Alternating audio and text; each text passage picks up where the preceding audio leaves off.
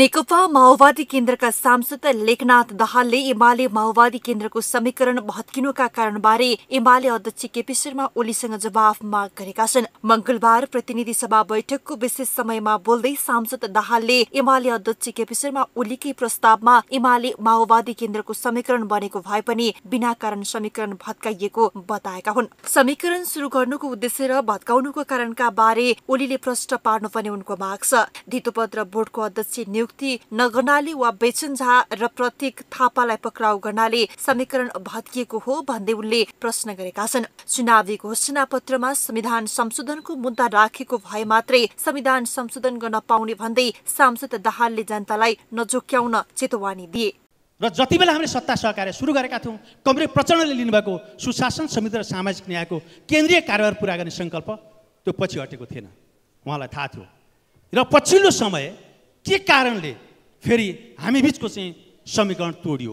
यो त जवाब दिनै पर्छ के कारणले सहकार्य सुरु गऱ्यौँ र के कारणले हाम्रा समीकरणहरू भत्किए? राष्ट्रिय स्वतन्त्र पार्टीका सांसद हरि ढकालले काङ्ग्रेस एमाले नेतृत्वले सरकारलाई कामै गर्न नदिएको आरोप लगाएका छन्। नयाँ सरकार आउँदैछ भनेर काङ्ग्रेस र एमाले विपदको यो बेला पनि सिंहदरबारका कर्मचारीलाई असहयोग गर भनेर भनेको उनको जिकिर थियो। प्रतिनिधि सभा बैठकमा विशेष समय लिएर बोल्दै सांसद ढकालले विपदको यो बेला पनि सरकारलाई काम गर्न नदिएको भन्दै काङ्ग्रेस एमाले प्रति आक्रोश व्यक्त गरे। भुटानी शरणार्थीको फाइल खोल्ने र दोषीलाई पक्राउ गर्ने काम सरकारले गर्न सुरु गरेपछि नयाँ सत्ता समीकरण बनाएको उनको तर्क थियो।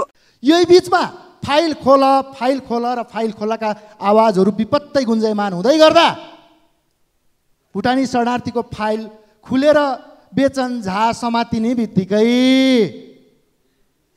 समीकरण नै फेरबदल। यो के यो किन? प्रश्न नागरिकले गरेका छन् र नागरिकले बुझेका छन्। नागरिकले मजासँग बुझेका छन्।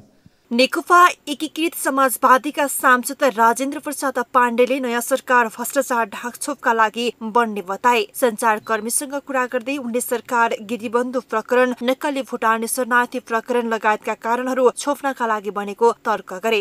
सरकार बनेकै त्यस्तै छोप्नलाई हो कि? त्यस्तै कुरा आइरहेछ। गिरीबन्धुको छोप्नु पर्ने हो एकजना भाउजूको पनि छोप्नु पर्ने हो। के के भनेर पनि कुरा आइरहेछ। भुटानी शरणार्थी काण्डको छोप्नुपर्ने हो।